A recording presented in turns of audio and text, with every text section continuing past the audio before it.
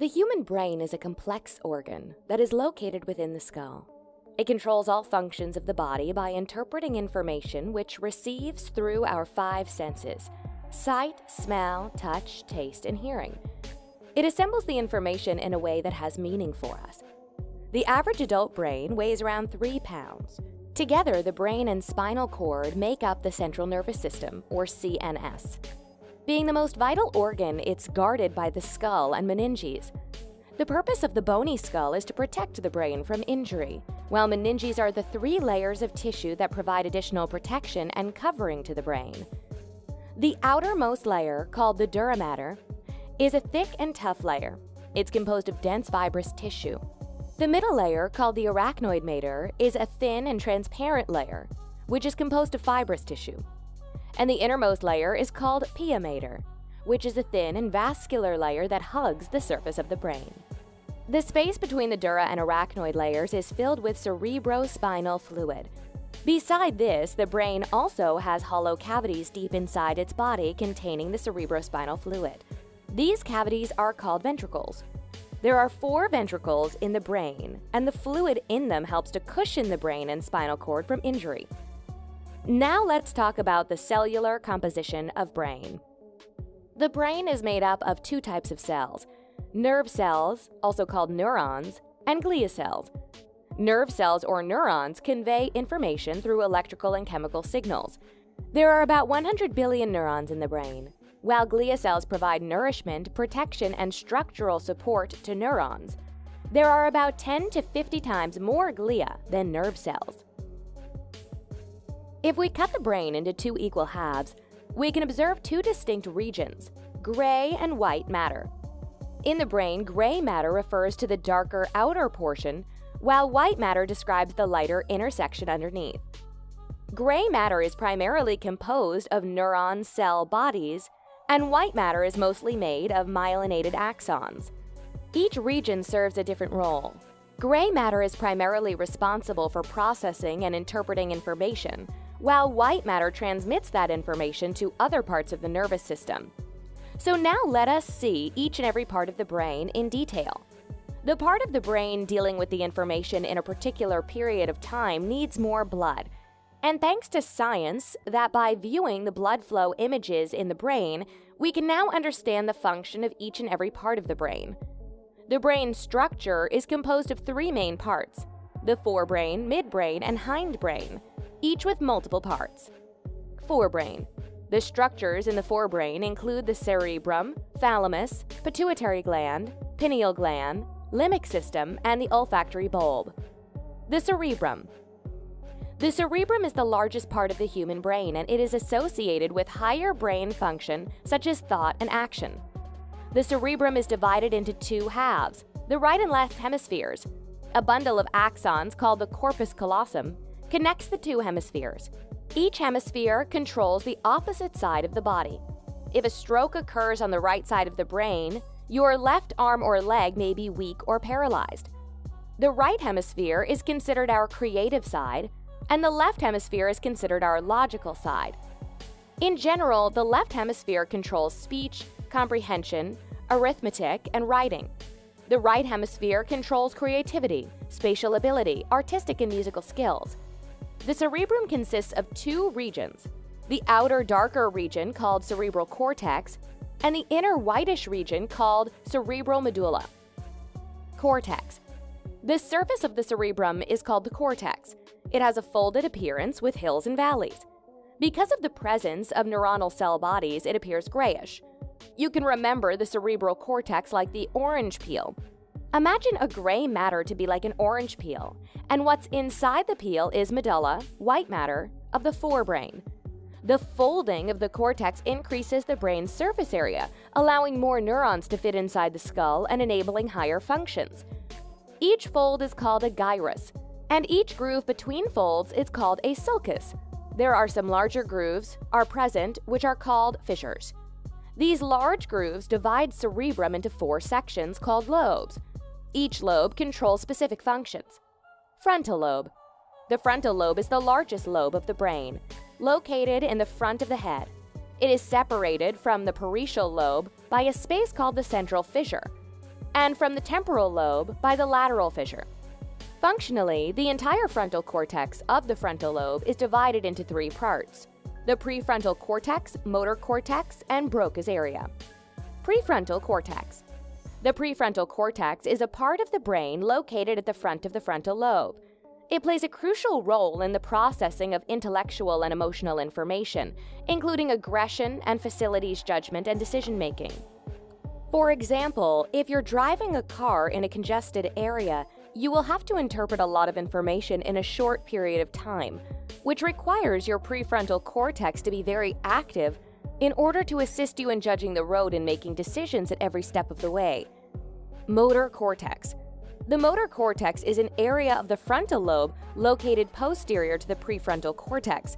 The primary function of the motor cortex is to generate signals to direct the movement of the body. For example, if you move your hand to lift a book from the table, it's the motor cortex functions to guide the right muscles of your hand in a sequence, causing your hand to move in the direction of the book. Broca's area. Broca's area is also known as the motor speech area. It is near the motor cortex and utilized in speech production. This area regulates breathing patterns while speaking and vocalizations required for normal speech. So, in general, we can say that the frontal lobe is important for voluntary movement expressive language, and for managing higher level executive functions. Parietal lobe. The parietal lobe is located just behind the frontal lobe, separated by the central sulcus.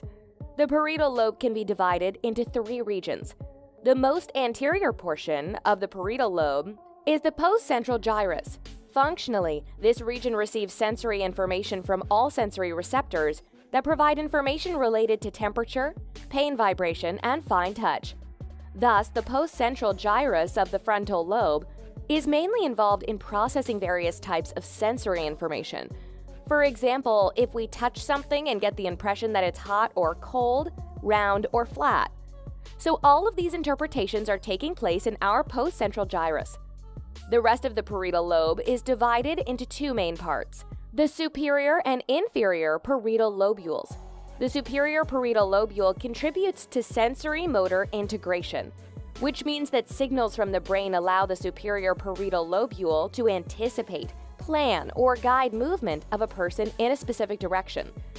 Besides this superior parietal lobule, also help us manipulate shapes and spot patterns between complex shapes. This ability is called special reasoning while the third region is called inferior parietal lobule contributes with mathematical operations, for example, counting monthly investments and turnover in some business.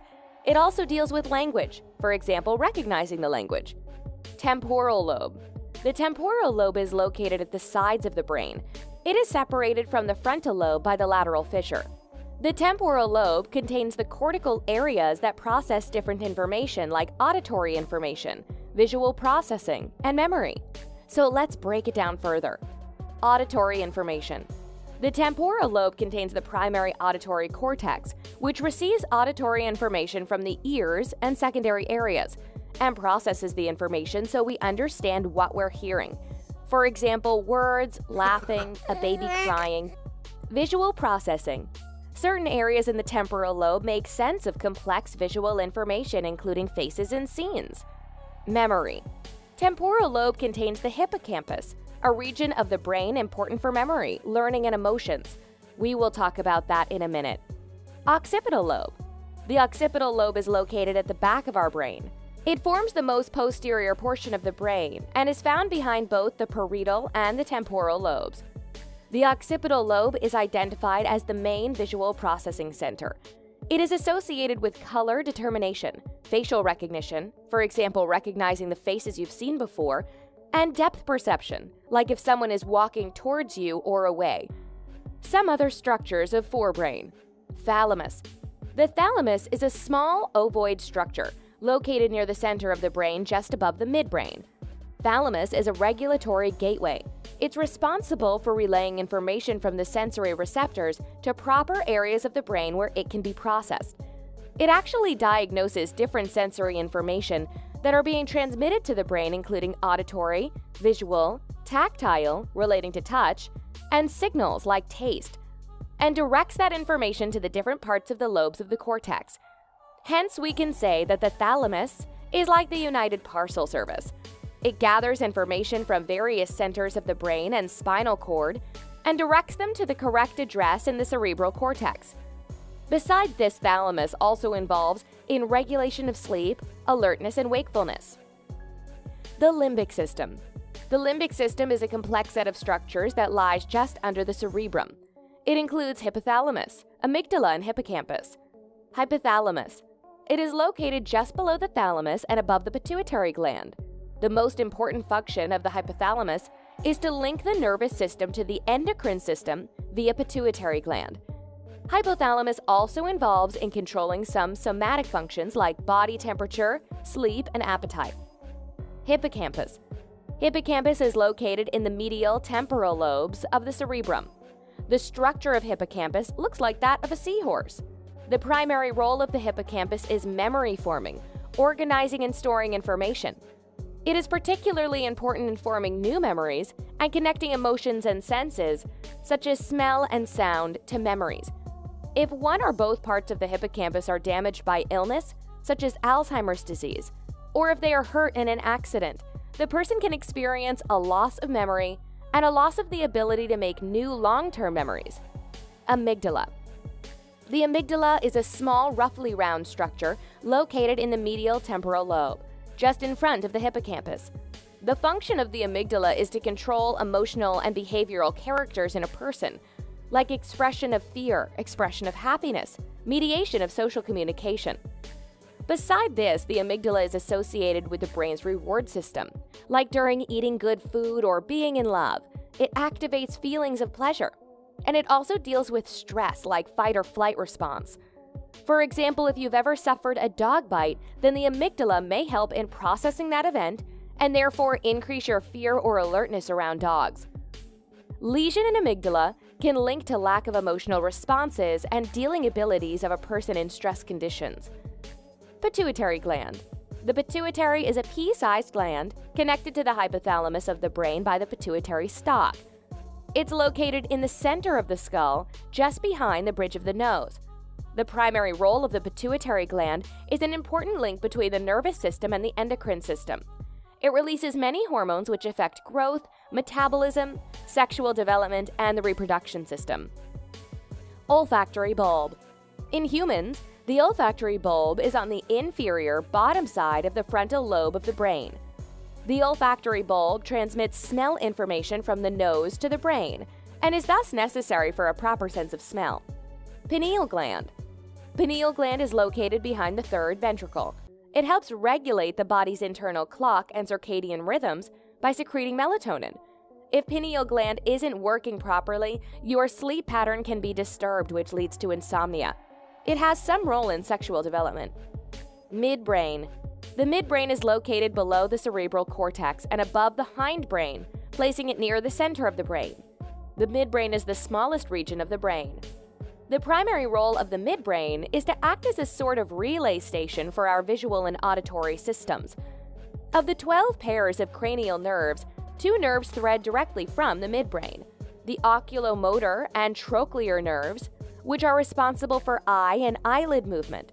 Portions of the midbrain, called the red nucleus and the substantia nigra, are involved in the control of body movement and contain a large number of dopamine producing neurons. The degeneration of neurons in the substantia nigra can lead to Parkinson's disease. Hindbrain. The hindbrain is one of the three major regions of our brains, located at the lower back part of the brain. There are three main parts of the hindbrain pons, cerebellum, and medulla oblongata. You've probably heard about the brain's stem before. Well, pons, medulla, and midbrain combine to form brain stem. It acts like a bridge for sending information between different parts of the brain and spinal cord. Cerebellum. The largest part of the hindbrain is the cerebellum. The cerebellum is located at the back of the brain beneath the occipital lobes, like the cerebral cortex. It has two hemispheres, each hemisphere of the cerebellum influences motor activity on the same half side of the body. It is associated with regulation and coordination of the movement of muscles, posture, and balance, coordination of goal directed and spontaneous movements, and some cognitive functions like language acquisition, riding a bike and playing music, etc. Pons. The pons is located above the medulla and below the midbrain. Visually, it looks like an enlarged section of medulla oblongata, a portion of brains below the pons. The pons plays an important role in the functioning of the automatic nervous system, like breathing and digesting. It also relays motor information between the cerebellum and cerebrum. Injury to the pons may result in impaired breathing and coma. Medulla oblongata. The medulla oblongata is located between the pons and the spinal cord. It is therefore the most inferior portion of the brain stem. Its functions are involuntary. We would not be able to live without the medulla, because of the myriad of crucial tasks it performs, including breathing, blood pressure, cardiac rhythms, and swallowing. As a part of the brain stem, it also helps transfer neural messages from the brain to the spinal cord. As we have learned about all the structures of the brain, let us see how the information is transferred between the brain and body. The brain communicates with the body through the spinal cord and 12 pairs of cranial nerves. These nerves are a part of the peripheral nervous system, PNS. 10 of the 12 pairs of cranial nerves that control hearing, eye movement, facial sensations, taste, swallowing, and movement of the face, neck, shoulder, and tongue muscles originate in the brainstem, while the cranial nerves for smell and vision originate in the cerebrum. At the end, let us see that how the blood is supplied to the brain for proper functioning. Two sets of blood vessels supply blood and oxygen to the brain the vertebral arteries and the internal carotid arteries. While the internal jugular veins are considered to be the main pathways of carrying blood away from brain to the heart. Thank you.